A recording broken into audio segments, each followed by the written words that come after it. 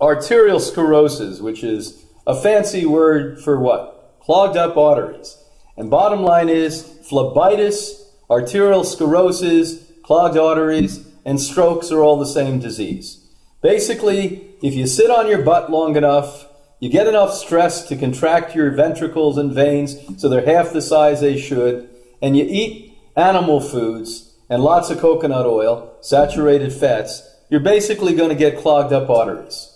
And if you get clogged up arteries, it's a good, good chance you're going to have one of those diseases I just mentioned. Uh, it's really a shock to me that we have a heart disease association in this country and all over the world. What we should be doing is, is taking those organizations, disassembling them, taking that money and using it to teach people not to sit on their butt and eat crappy food.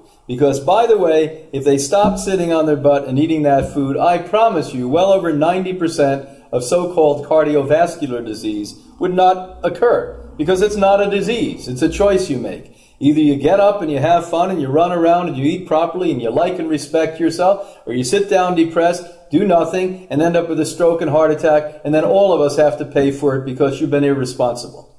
And so the time is, is now.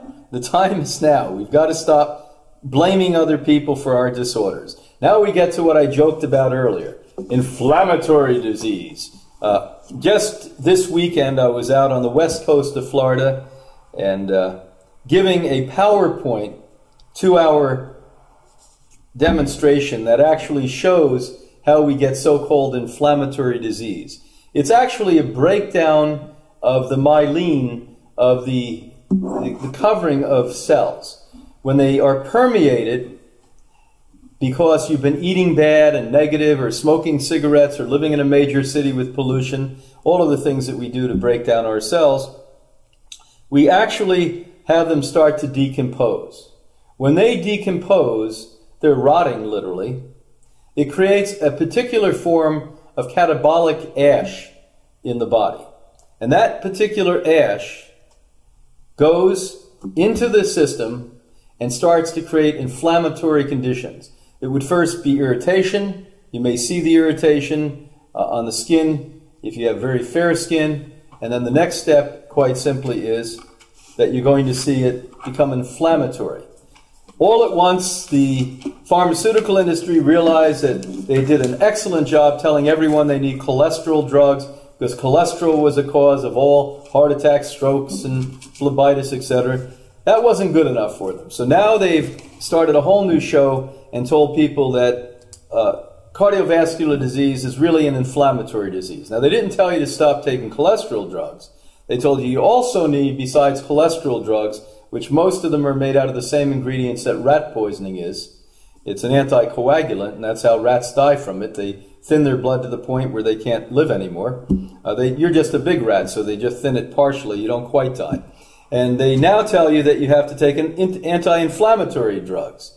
Now, bottom line is, if I use some common sense in this, most of you listening will understand this. The intellectuals may have a hard time with it. Now, if I took your arm and I put a plastic bag around it and wrapped it really, really tight, and we said, you keep that on for 24 hours, and you came to the group listening here today, and we all looked at your arm, would it be inflamed? And the answer is yes.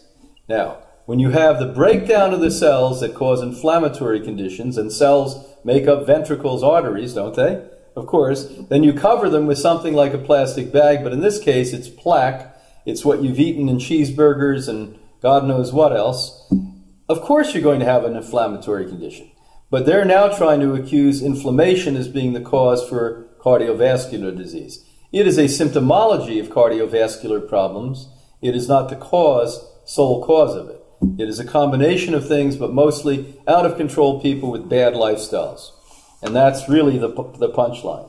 That was a big question. My God, who did that come from? Oh, see that? Dr. Shmahokalahaka from the University of Brunk. Now we go on.